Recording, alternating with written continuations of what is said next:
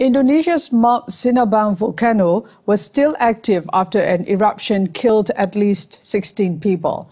The volcano has become increasingly active in recent months, regularly spewing columns of ash several kilometers into the air. The government has evacuated tens of thousands of residents from the area.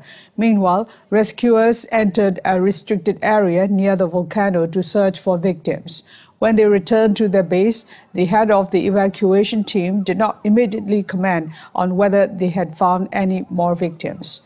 Sinabung is one of nearly 130 active volcanoes in the world's fourth most populous country, which sits along the Ring of Fire volcanic belt around the Pacific Ocean.